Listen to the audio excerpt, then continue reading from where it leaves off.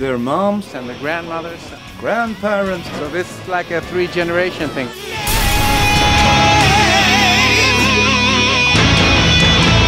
Standing up there on stage, it's the biggest high imaginable. It's definitely a, a trip to where I want to go. I'm high on life. The comment that we get is like, I don't like hard rock, but you guys, you, you're great. And we just, oh, in that case, you like hard rock. We're extending the crowd for all heavy metal bands. We could bring hard rock and heavy metal back to the limelight, back to the mainstream radio, TV, to all the regular homes.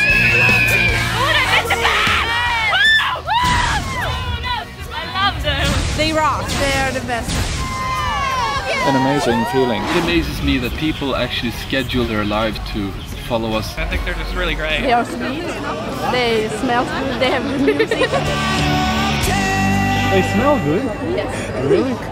Especially Kicken. It's such a big reward to have people who actually really, really enjoy the work that you do and you honestly believed in for such a long time. We love you. I love the poodle. Strong. We love. I love poodles. Love is in the air. One night of passion, one night of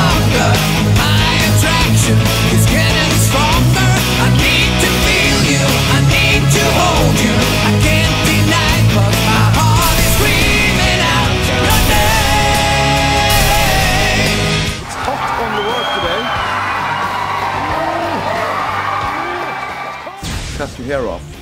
And I said, how about just no? I got my long hair six years ago. I feel it's some kind of power. The line of fire. People devoted to this kind of music are really devoted.